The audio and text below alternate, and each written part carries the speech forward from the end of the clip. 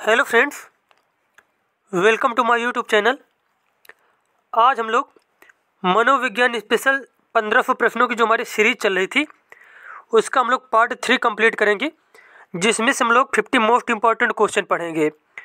और ये जितनी भी शिक्षक भर्ती एग्ज़ाम होती है UP TET S TET D triple S B K V S M P TET REET कोई भी मतलब शिक्षक भर्ती एग्ज़ाम हो, सभी के लिए बेहद ही महत्वपूर्ण है। और अगर आपको वीडियो अच्छा लगे तो चैनल को सब्सक्राइब करें, वीडियो को लाइक करें, कमेंट करें। चलिए देखते हैं यहाँ पे क्वेश्चन पूछा गया आपसे। अब देखो, इसके हंड्रेड क्वेश्चन कंप्लीट हो गए थे। अब यहाँ पे one hundred one number question पूछा गया है। शिक्षण अधिगम की सूचना प्रक्रिया इन्फॉर्मेशन प्रोसेस जिस अधिगम सिद्धांत से संबंधित है, वह है।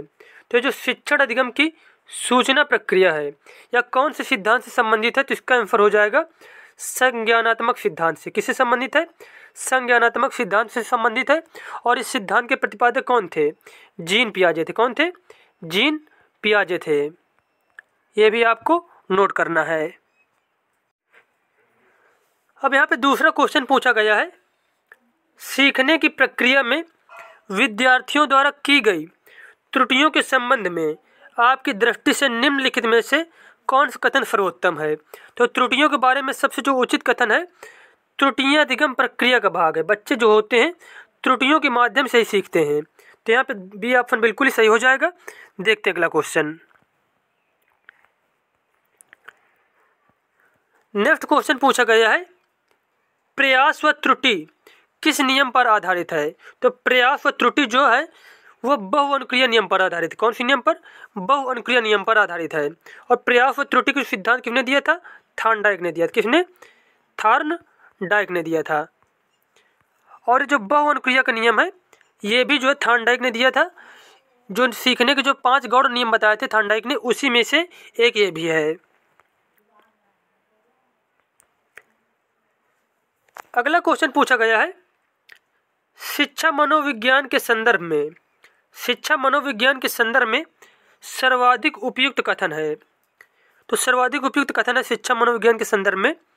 शिक्षा मनोविज्ञान मनोविज्ञान की शिक्षा के क्षेत्र में एक शाखा है। क्या है? शिक्षा मनोविज्ञान जो है, मनोविज्ञान की शिक्षा के क्षेत्र में एक शाखा है। अब नेक्स्ट क्वेश्चन पूछा गया है। आ, बा, सा, तीन शिक्षार्थी अंग्रेज़ी पढ़ते हैं। जिनके अलग अलग लक्ष्य हैं। आ जो है, विषय रोचक है, वह भावी जीवन में काम आएगा। ब जो है, कक्षा में पहला स्थान प्राप्त करना है और जो सा है, परीक्षा उत्तीर्ण परीक्षा उत्तीर्ण होने वाले गेट प्राप्त हो जाएँ। अब यहाँ पे बताएगा निष्पादन निष्पादन उपेक्षा और निपुणता का सही क्रम बताइए। तो यहाँ पे जो है, निष्पादन निष्पादन उपेक्षा और निपुणता का जो सही क्रम हो जाएगा वो हो जाएगा बा सा आ। सबसे पहले हो जाएगा, कक्षा में पहला स्थान प्राप्त करना है। उसके बाद परीक्षा उत्तीर्ण होने वाले ग्राड, जो ग्रेड है वो प्राप्त हो जाए। और फिर उसके बाद विषय रोचक है वह भावी जीवन में काम आएगा।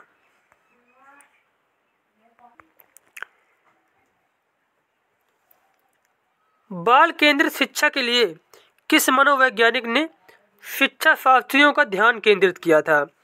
बाल केंद्रित शिक्षा के लिए किस मनोवैज्ञानिक ने शिक्षा शास्त्रियों का ध्यान केंद्रित किया था? तो किया था रूसो ने। किसने? रूसो ने किया था।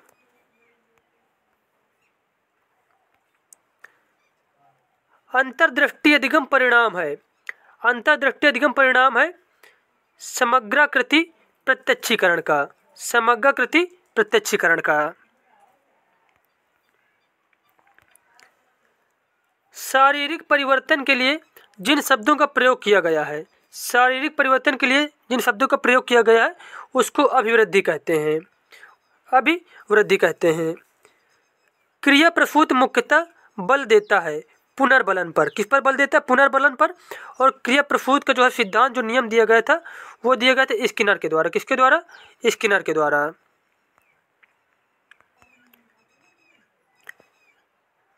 समावेशी शिक्षा के संदर्भ में भाषा शिक्षण के लिए अनिवार्य है। तो समावेशी शिक्षा के संदर्भ में भाषा शिक्षण के लिए अनिवार्य चीज़ है विभिन्न प्रकार की गतिविधियों का उपयोग कराना, विभिन्न प्रकार की गतिविधियों का उपयोग कराना।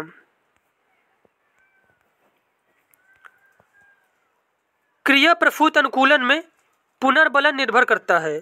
क्रिया प्रफुत अनुकूलन में पुनर्बलन निर्भर करता है अनुक्रिया की प्रकृति पर, अनुक्रिया की प्रकृति पर।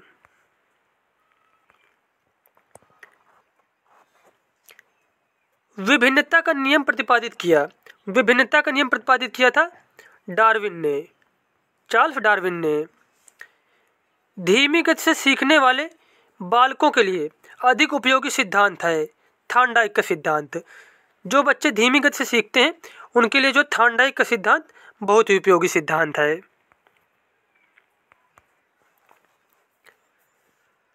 निम्नलिखित में से 1912 में किस संप्रदाय का प्रतिपादन हुआ? 1912 में किस संप्रदाय का प्रतिपादन हुआ था? गेस्टाल्ट संप्रदाय का। गेस्टाल्ट संप्रदाय का। और उसके प्रतिपादक कौन थे? वर्दिमर थे। कौन थे? वर्दिमर थे।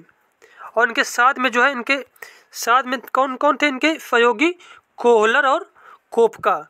कोहलर और जो कोफका थे, इनके सहयोगी थे।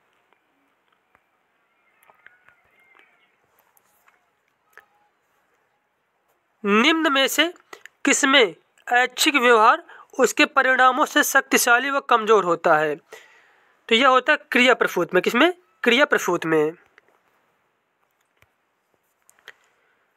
जेम्स ड्राइवर ने मनोविज्ञान को किस प्रकार का विज्ञान माना है? जेम्स ड्राइवर ने मनोविज्ञान को शुद्ध विज्ञान माना है। क्या माना है? शुद्ध विज्ञान माना है। सीखने का करना। कौन से पक्ष से संबंधित है? सीखने का करना जो है संबंधित है। सीखने का गतिक क्षेत्र। सीखने का गतिक क्षेत्र।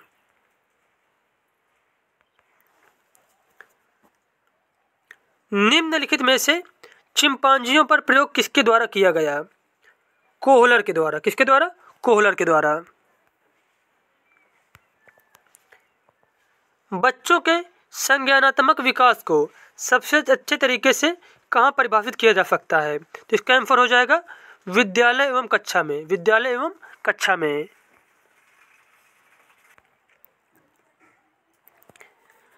अगला क्वेश्चन है, एक शिक्षक के लिए सबसे महत्वपूर्ण क्या है? विद्यार्थियों की कठिनाइयों को दूर करना। विद्यार्थियों की कठिनाइयों को दूर करना। गेट्स के अनुसार अनुभव द्वारा व्यवहार में परिवर्तन ही क्या है? सीखना है। गेट्स के अनुसार जो है, अनुभव द्वारा व्यवहार में परिवर्तन ही क्या है, सीखना या फिर अधिगम है।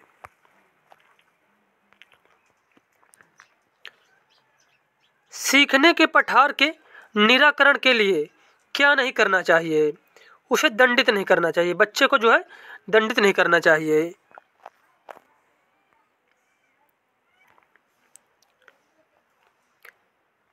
जिस वक्र रेखा में प्रारंभ में सीखने की गति तीव्र होती है और बाद में यह क्रमशः मंद होती जाती है, उसे कहते हैं, उसे कहते हैं उन्नतोदर वक्र। क्या कहते हैं उसको?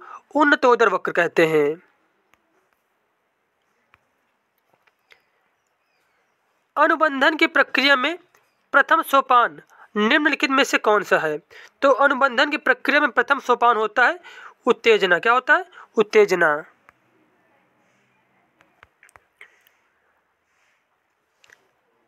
निम्नलिखित में से कौन सी दशा ध्यान को आकर्षित करने की आंतरिक दशा नहीं है? तो ध्यान को आकर्षित करने की आंतरिक दशा कौन सी नहीं है? उद्दीपन की स्थिति नहीं है।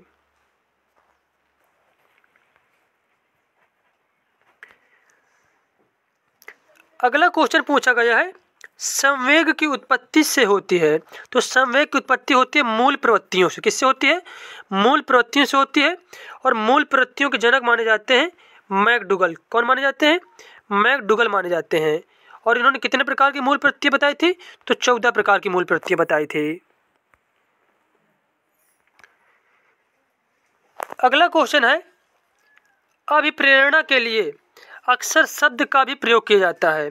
तो अभिप्रेरण के लिए अक्सर कौन से शब्द का प्रयोग किया जाता है? तो इसका आंसर हो जाएगा, आवश्यकता शब्द का। आवश्यकता शब्द का।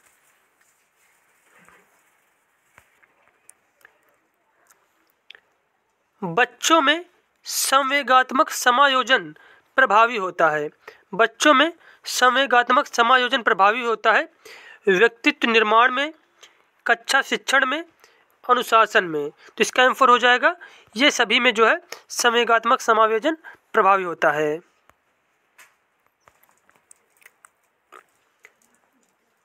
अधिगम के प्रक्रम में अभिप्रेरण। अधिगम के प्रक्रम में अभिप्रेरण क्या है? नए सीखने वालों में अधिगम के लिए रुचि का सृजन करता है। जो अभिप्रेरणा क्या करता है? नए सीखने वालों में अधिगम के लिए रुचि का सृजन करता है। अगला क्वेश्चन है, एक छात्र के अधिगम पर उसकी आर्थिक स्थिति का किस प्रकार प्रभाव पड़ता है? तो एक छात्र के अधिगम पर उसकी आर्थिक स्थिति का जो है, किसी प्रकार का प्रभाव नहीं पड़ता है। चाहे वो छात्र अमीर हो या फिर गरीब हो। नेक्स्ट क्वेश्चन है यहाँ पे। काम की प्रवृत्ति पर सबसे अधिक बल किस मनोवैज्ञानिक ने दिया था? काम की प्रवृत्ति पर सबसे अधिक बल दिया था सिगमंड फ्रायड ने। किसने दिया था? सिगमंड फ्रायड ने।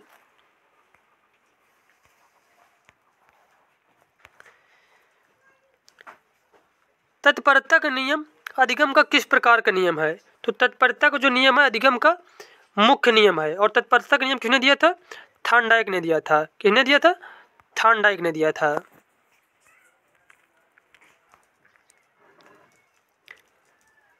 थानडाइक के अधिगम नियम में सर्वाधिक प्रधानता किसको है?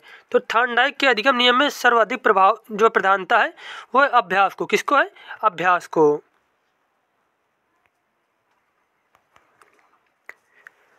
अगला क्वेश्चन पूछा गया है। अधिगम को ठोस सिद्धांत किस मनोवैज्ञानिक द्वारा दिया गया? जो अधिगम का ठोस सिद्धांत है, यह दिया गया था थांडाइक द्वारा। किसके द्वारा? थांडाइक द्वारा।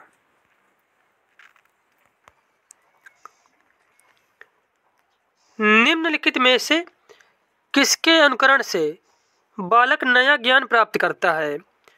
शिक्षकों के अनुकरण से, दोस्तों के अनुकरण से माता पिता के अनुकरण से तो इसका आंसर हो जाएगा। उपरोक्त सभी के द्वारा जो है, इनकी सब की नकल करके जो बच्चा है, नया ज्ञान प्राप्त करता है। अस्पष्टता के नियम में विचार होते हैं। अस्पष्टता के नियम में कैसे विचार होते हैं? स्पष्ट विचार होते हैं।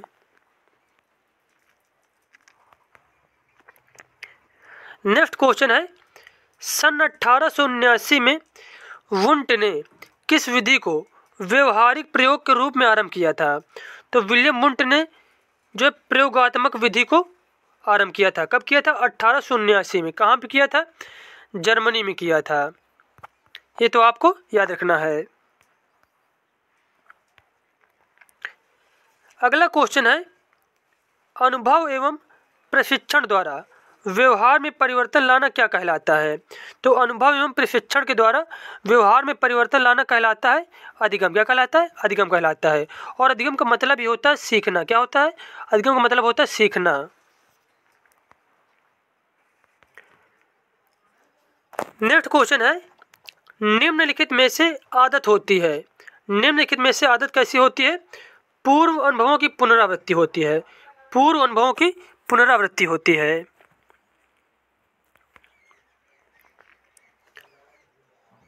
ज्ञानात्मक अधिगम, गामक अधिगम, संवेदनात्मक अधिगम क्या है?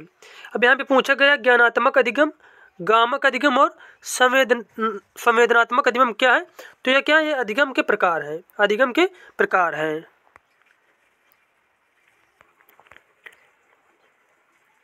नेक्स्ट क्वेश्चन यहाँ पे पूछा गया है, बी एफ़ स्किनर का, टेटोफोन किसका आकलन करता है?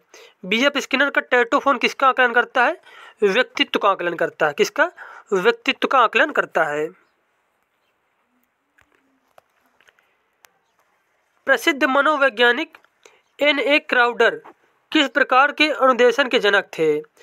शाखात्मक अभिक्रमित अनुदेशन के। शाखात्मक अभिक्रमित अनुदेशन के जनक कौन थे? N A Crowder. उसके बाद क्वेश्चन पूछा गया है, साइमन बिने के अनुसार बुद्धि क्या है? साइमन बिने के अनुसार बुद्धि क्या है? पहचानने तथा सुनने की शक्ति बुद्धि है। पहचानने तथा सुनने की शक्ति क्या है? बुद्धि है। अगला क्वेश्चन यहाँ पे पूछा गया है, किस प्रकार के एक अध्यापिका बच्चों को बेहतर समस्या समाधानकर्ता बनना, बनने में सहायता कर सकती है। तो किस प्रकार एक जो अध्यापिका है, बच्चों को बेहतर समस्या समाधानकर्ता बनने में सहायता कर सकती है तो इसका आंसर हो जाएगा, बच्चों को विविध प्रकार की समस्याओं को समाधान करने के मौके देना तथा हल करते समय सहायता करना।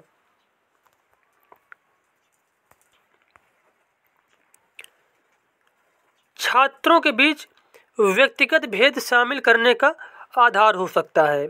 छात्रों के बीच व्यक्तिगत भेद शामिल करने का आधार हो सकता है। शिक्षण के कई तरीके, आकलन के कई तरीके तो इसका आंसर हो जाएगा फ़र्स्ट और सेकंड दोनों ही।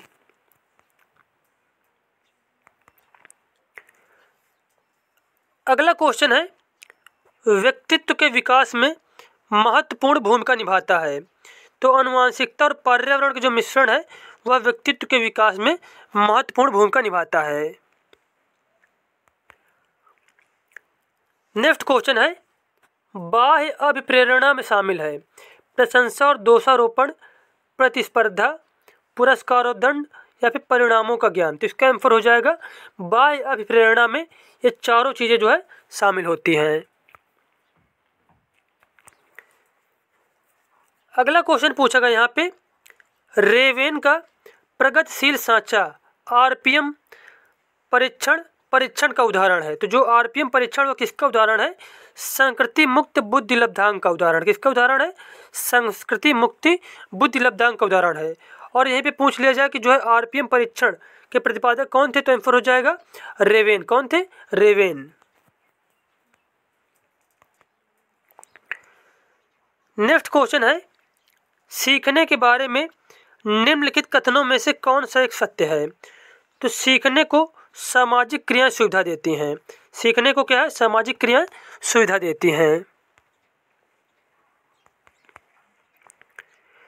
नेक्स्ट क्वेश्चन है, निम्नलिखित में से कौन सी एक महत्वपूर्ण गतिविधि बच्चों को सीखने के लिए सक्षम बनाती है? तो इसका आंसर हो जाएगा संवाद। जब बच्चे आपस में एक दूसरे से बात करते हैं तो क्या उनको सीखने में काफ़ी हेल्प मिलती है? एक दूसरे से बच्चे सीखते हैं, इंटरेक्ट करके।